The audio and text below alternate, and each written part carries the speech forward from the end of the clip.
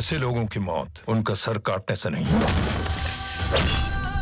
बल्कि सर झुकाने से होती है। One is quite familiar with Sohail Khan's brand of cinema, Masi, Masala and fun. His films have one thing in common, Salman Khan. He has been associated with films like Jai Ho, Veer, Ready, among other forgettable films like God Tussi Great Ho and Fight Club, but he's very keen to change this image. The grapevine is rife with rumors that Sohail has signed on an unconventional pair of Nawazuddin Siddiqui and Amy Jackson on his next project. Now Nawaz is an actor's actor and has always been keen on doing content-rich roles.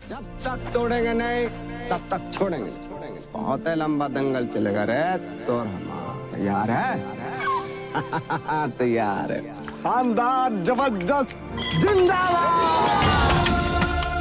Amy, on the other hand, enjoys huge commercial popularity both in South and Bollywood, so this is indeed an exciting pair to look out for. Rumor has it that he wants to break away from the shadow of his successful brother and wants to try out something drastically different, unique. Now, it is not clear as to what exactly will be the premise of this film or if the lead pair will be romantically linked to each other in the script.